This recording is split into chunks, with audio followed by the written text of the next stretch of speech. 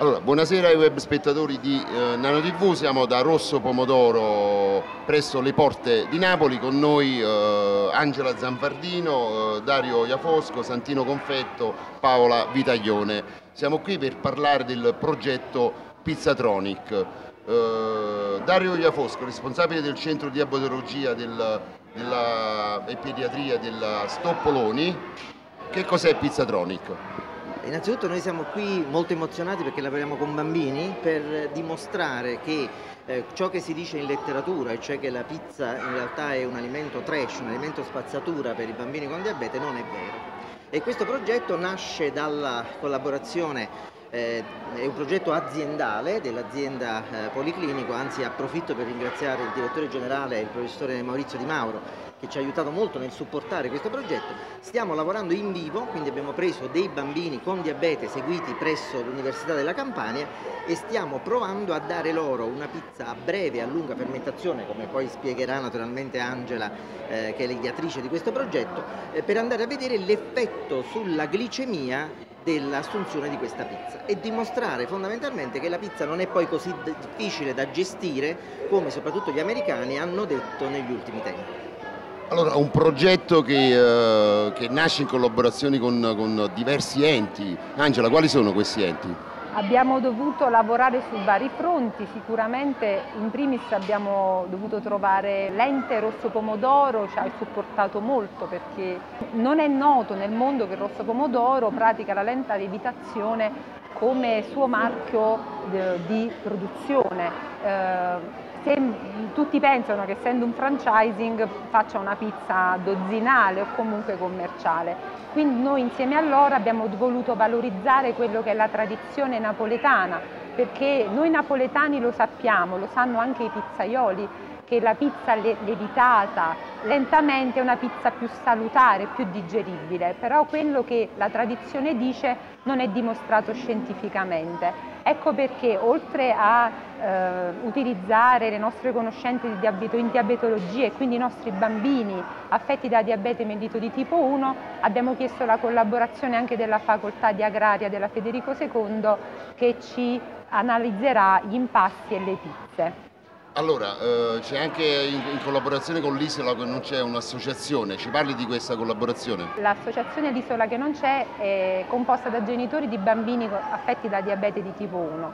Dal momento che questa sperimentazione è del tutto gratuita, nel senso che non ha ricevuto finanziamenti da enti privati, loro ci hanno supportato con tutto quello che serviva, per esempio pagare, pagare le pizze, ehm, i prodotti che servono per i bambini, il glucosprint per esempio. Quindi stanno supportando stanno un poco su... questa sperimentazione es che poi si cala anche sui propri figli. Esatto, sì, quindi proprio perché credono in noi e credono nel potere della ricerca. Allora, con, con, eh, Santino Confetto invece volevo parlare, che è un diabetologo pediatra, cioè, quanti bambini sono affetti in percentuale nella, nella nostra popolazione? Seguiamo circa eh, mille bambini con diabete solo nella nostra facoltà. Eh, si calcola che in tutta la Campania siano attualmente presenti 1500 casi di bambini con diabete sotto i 18 anni, perché poi se notiamo, cioè se andiamo a guardare tutta la fascia i casi naturalmente sono molti molti di più.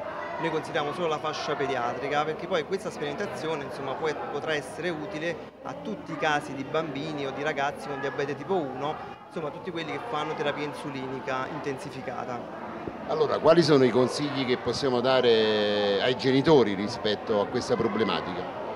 Uh, sul consumo di pizza in particolare, diciamo che la pizza uh, è, mm, è, ben noto che è un alimento di difficile digestione, come diceva il professore Iafusco, proprio perché è un alimento uh, che uh, a seconda della pizza, seconda di come viene preparato, mm, presenta difficoltà diverse nella gestione, quindi come uh, lunghezza della lievitazione o quantità di carboidrati, lipidi e proteine che ci sono dentro. E quindi avere sicuramente una ricetta nota come quella preparata dalla dottoressa Zanfardino potrà essere molto utile nella gestione poi di questo alimento anche nella vita quotidiana di questi bambini. Allora, questa collaborazione con uh, il Dipartimento di Agraria dell'Università di Portici, uh, Paola Vitaglione, uh, come è nata questa idea e che cosa state facendo?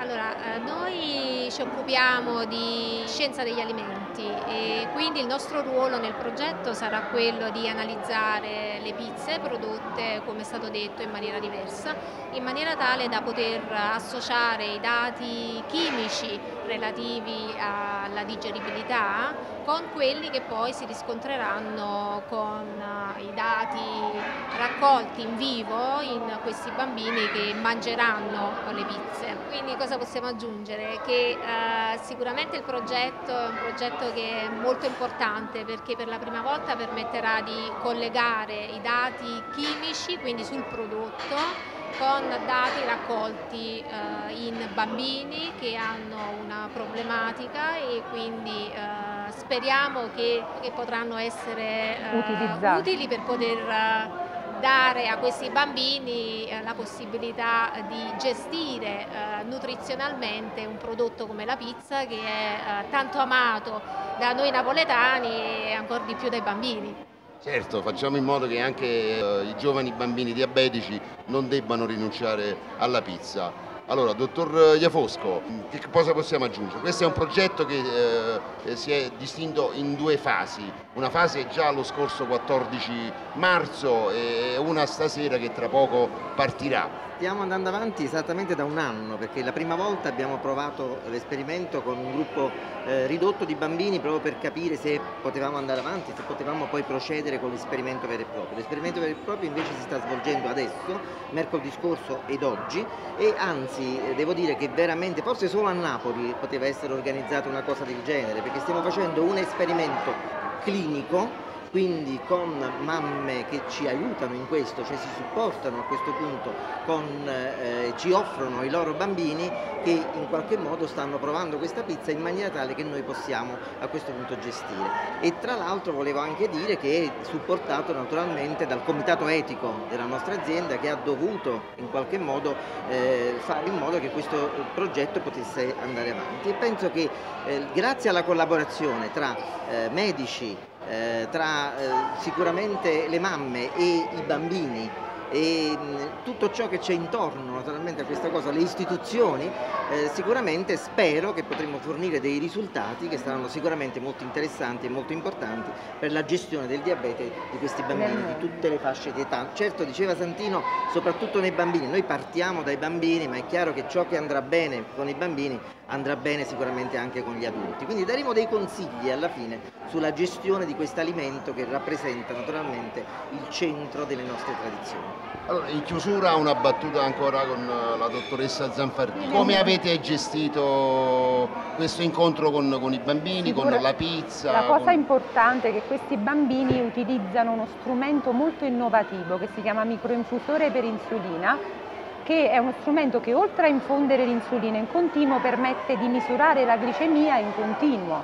Quindi noi stasera a distanza, anche a casa nostra, loro andranno a casa dopo la pizza, vedremo come vanno le glicemie fino alle 6 del mattino, perché l'esperimento inizia adesso, ma si concluderà domani alle 6 perché vogliamo vedere dopo il consumo ma anche durante la notte cosa succede. Perché quello che deve essere chiaro è che una pizza che non è lievitata bene è una pizza non digerita bene, non digeribile. Quindi all'inizio i bambini potrebbero avere delle gravi ipoglicemie perché non riescono ad assorbirla ma stanotte potrebbero avere le glicemie molto elevate proprio perché oggi si consuma la pizza a rapida lievitazione quello che non è successo invece la settimana scorsa, la settimana scorsa hanno mangiato quella lenta lievitazione e sono andati benissimo, hanno avuto delle glicemie perfette per tutta la notte.